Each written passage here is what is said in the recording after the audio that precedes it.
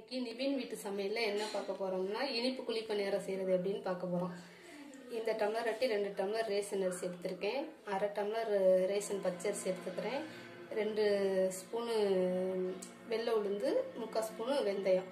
இதை எல்லாத்தையும் ஒன்றா போட்டு சுத்தமாக கழுவி ரெண்டரை மணி நேரம் ஊற வைக்கணும். ரெண்டரை மணி நேரத்துக்கு அப்புறம் இது கிரைண்டரில் அரைச்சி இது மாதிரி கெட்டியாக எடுத்து வச்சுக்கோங்க. எடுத்து வச்சுட்டு அப்படியே ஒரு அஞ்சு மணி நேரம் அப்படியே வெளியிலே வச்சு புளிக்க வச்சிருங்க. வச்சு வெல்லம். ஒன்றரை அச்சு வெல்லம் எடுத்துக்கோங்க.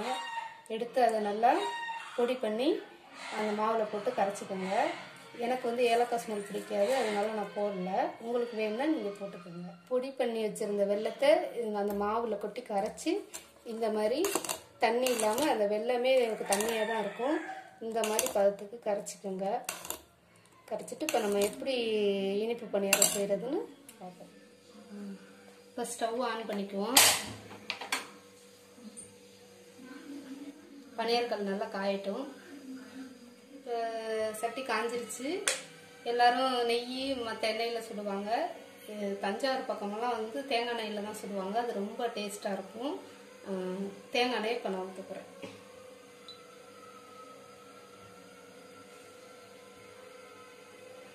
செக்கில் ஆட்டின சுத்தமான நல்ல தேங்காய் எண்ணெய்.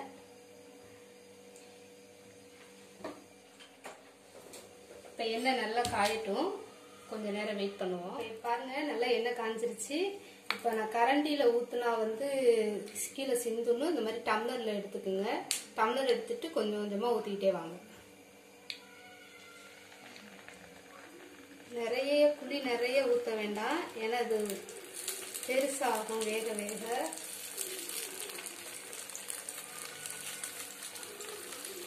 பார்த்து தூங்காமல் ஊற்றிக்கணும்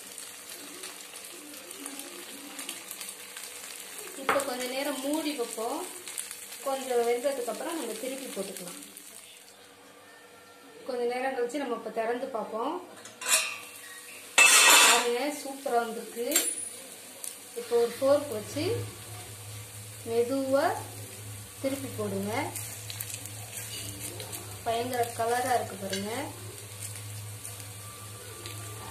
வாசமே சூப்பராக இருக்குது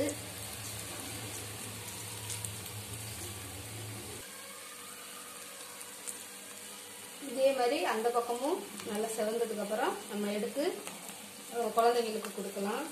சூப்பராக இருக்கும் எடுத்து இந்த தட்டில் வச்சிடலாம்.